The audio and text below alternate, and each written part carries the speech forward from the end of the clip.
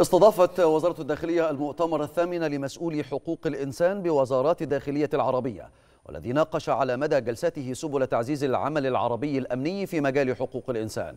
وجاء انعقاد المؤتمر بمصر تقديرا لدور مصر الريادي في مجال العمل الأمني الذي يراعي الأبعاد الإنسانية.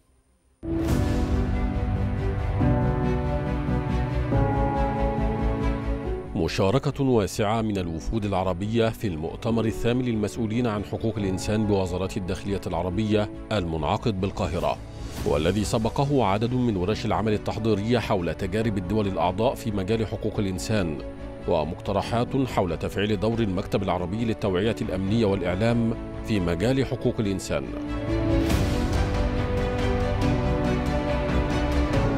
كما عقدت على هامش المؤتمر ورشة عمل مشتركة مع الوكالة الأوروبية لحرس الحدود والسواحل فرونتكس حول احترام حقوق الإنسان في المنافذ الحدودية. No, I think the, the location is, is perfect. Um, uh, the, the facilities uh, have been perfect for, for such a conference.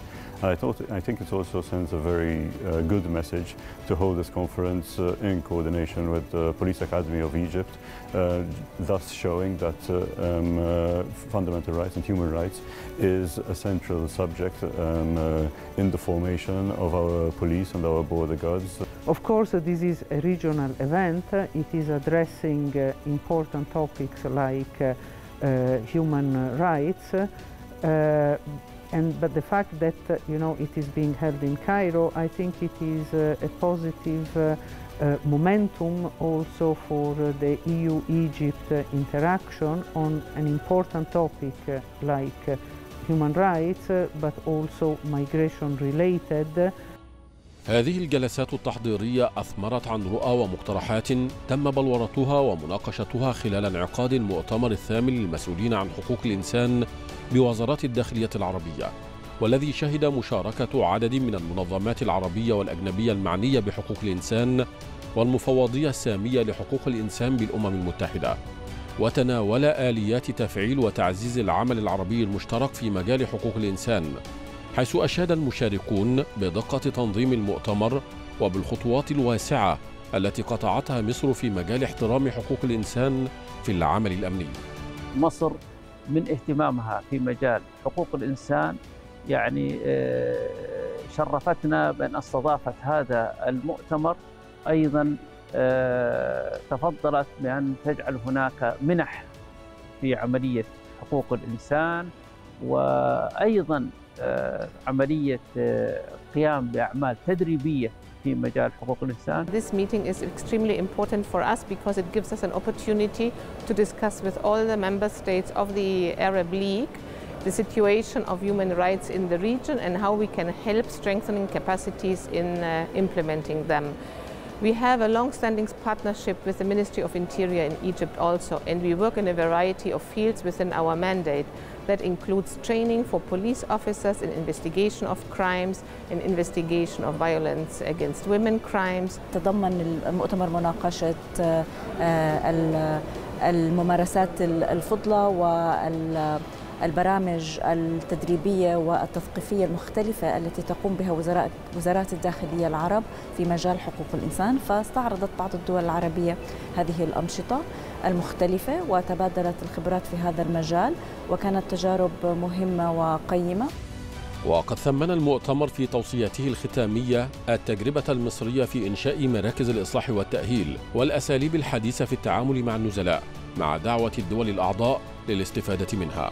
التجربة المصرية تجربة رائدة أنا أعتبرها تجربة عالمية تجربة عربية مثلها يجب أن يقتدى ويجب أن تقيم هذه التجربة لأن تعكس الرغبة الحقيقية للدولة المصرية في التعاطي مع ملف حقوق الإنسان بما يتماشى مع المعايير الدولية.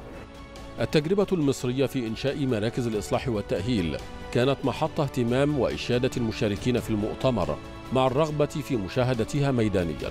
وهو ما حرصت عليه وزارة الداخلية من خلال تنظيم زيارة ميدانية للمشاركين لمركز الإصلاح والتأهيل وادي النطرون للاطلاع على هذه التجربة الفريدة التي استطاعت مصر من خلالها أن تحقق نقلة نوعية في منظومة السياسة العقابية الحديثة بما يراعي المعايير الدولية لحقوق الإنسان.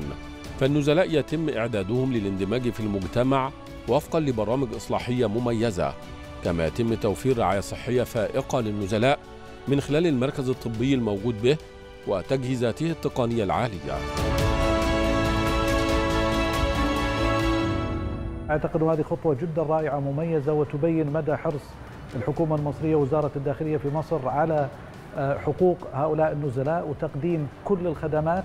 دولة تحترم أفرادها بمختلف الوضعيات متاعهم سواء خارج السجن ولا داخل السجن.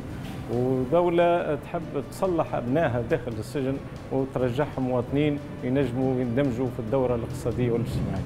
هاي تجربة رائعة جدا. طلعنا على تجربة فريدة من نوعها. وهاي التجربة إن شاء الله تكون يعني عامة على كل الدول العربية. وقد حرصت الوفود على تدوين ملاحظاتهم عن مركز الإصلاح والتأهيل وادي النطرون وهو ما يعكس حرصهم على نقل تلك التجربة المتقدمة والاستفادة منها في الإصلاح والتأهيل إلى بلدانهم وفقا لما أكدوه وهو ما يعكس الرؤية المصرية الواضحة والناجحة فيما يتعلق بحق الإنسان وفقا لما جاء في الاستراتيجية الوطنية لحقوق الإنسان.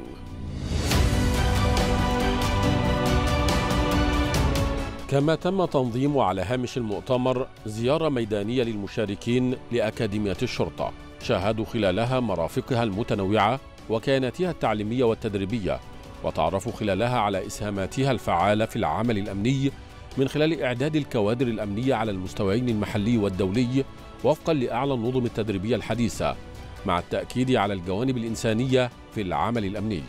حقيقة شيء يثلج الصدر شيء يفرح بأن في مثل هذه المؤسسة الأمنية نجد هذا التنظيم الجميل المباني والمشبهات والتدريب العالي المستوى في مجال حفظ الأمن.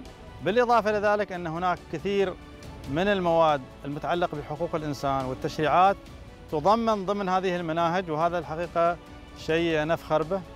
هكذا يتم ترسيخ حقوق الإنسان من خلال المناهج الدراسية داخل أكاديمية الشرطة والتي احتضنت المؤتمر الثامن للمسؤولين عن حقوق الإنسان بوزارات الداخلية العربية وجاء انعقاده بمصر تقديرا لدور مصر الريادي في ترسيخ العمل الأمني بمفهومه الإنساني.